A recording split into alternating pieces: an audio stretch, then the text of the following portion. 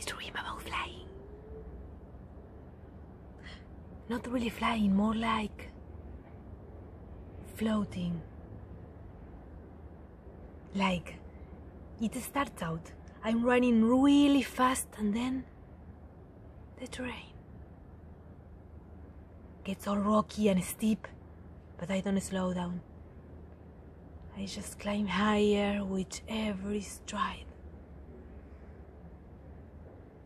Before I know it, I am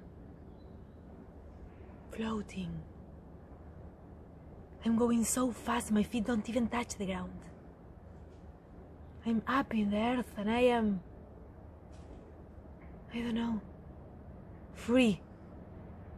It's this incredible feeling. And then I look down. And the minute I do, everything changed. There I am. I'm floating. High above the earth. Nothing can touch me, right? I'm free and I'm safe and it hits me. Just like that. I'm completely, utterly alone.